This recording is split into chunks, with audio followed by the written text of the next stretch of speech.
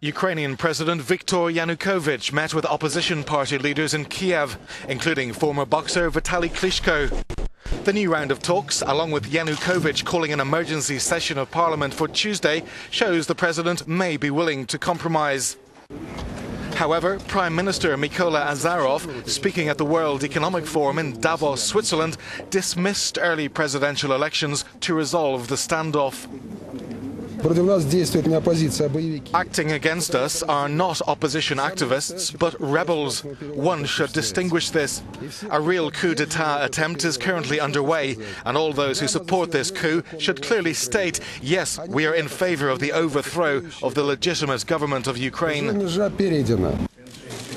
Meanwhile, Stefan Fule, the EU Enlargement Commissioner, is expected to arrive in Kiev this weekend. Fule had been leading efforts to boost links with Ukraine through new political and trade agreements.